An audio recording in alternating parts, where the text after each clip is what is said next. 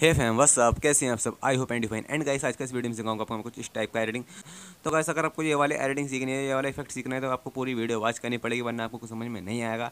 तो गाइस चलते हैं अपने मोबाइल स्क्रीन पर फ़ोटो एडिट करने के लिए. टाइम स्टार्ट ना हो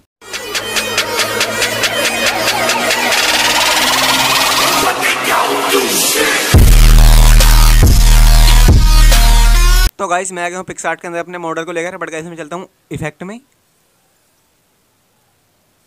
एंड गाइस इफ़ेक्ट में आने के बाद गा आता हूँ कलर पर एंड कलर पर आने के बाद गा सकता हूँ कलर रिप्लेस पर एंड इस पर मैं कंटिन्यू कर दूँगा।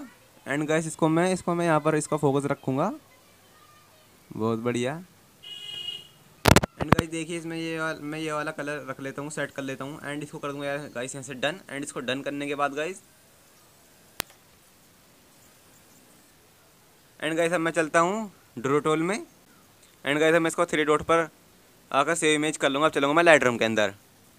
तो गाइस मैं आ गया हूँ लाइट के अंदर, अपने मॉडल को लेकर जो सा मैंने पिक्सार्ट के अंदर एडिट किया था बट गाइस मैं आता हूँ कलर में एंड कलर में आने के बाद गाइस मैं इसकी विवरेंस को थोड़ा सा इंक्रीज़ कर लूँगा गाइस बहुत बढ़िया। एंड इसकी टेम्परेचर को थोड़ा सा डिक्रीज़ कर लूँगा, बस थोड़ा सा, इतना एट्टी एंड इसकी टेंट को भी थोड़ा सा मैं डिक्रीज़ कर लूँगा, बस इतने गाइस एंड गाइस मैं आता हूँ मिक्स में एंड मिक्स में आने के बाद गाइस मैं आता हूँ इस वाले टूल्स पर। एंड गाइस को मैं डिक्रीज़ कर दूँगा एंड इसकी सेचुरेशन को इंक्रीज़ कर दूँगा गाइज़ एंड मैं आता हूँ ब्लू टोन पर एंड इसको मैं थोड़ा सा डिक्रीज़ कर दूँगा, इसकी सेचुरेशन को थोड़ा सा इंक्रीज़ एंड इसका लूमिनेस को भी इंक्रीज़ कर लूँगा गाइज़ बहुत बढ़िया।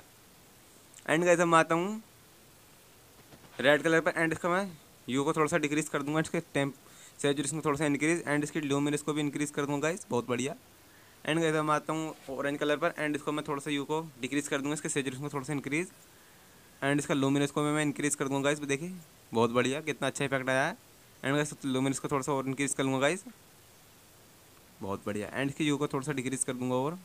एंड इसकी सेचुरेशन को कम कर दूँगा. एंड गाइस मैं आता हूँ. येलो कलर पर. एंड इसका यू मैं यू को डिक्रीज़ कर दूँगा. एंड इसका सेचुरेशन को मैं इंक्रीज़ एंड इसके लूमिनस को भी मैं इंक्रीज़ कर दूँगा गाइस फुल एंड अब आता हूँ ग्रीन कलर पर. एंड इसका मैं यू को फुल डिक्रीज़ कर दूँगा. एंड इसका सेचुरेशन को इंक्रीज़ कर दूँगा. एंड इसके लूमिनस को भी इंक्रीज़ करूँगा गाइस देखिए, कितना अच्छा इफ़ेक्ट आया है. बट गाइस मैं फिर से इसको थोड़ा सा लूम, इसको भी इंक्रीज़ कर दूँगा गाइस देखिए। एंड गाइस मैं आता हूँ इस वाले टूल्स पर एंड इसको मैं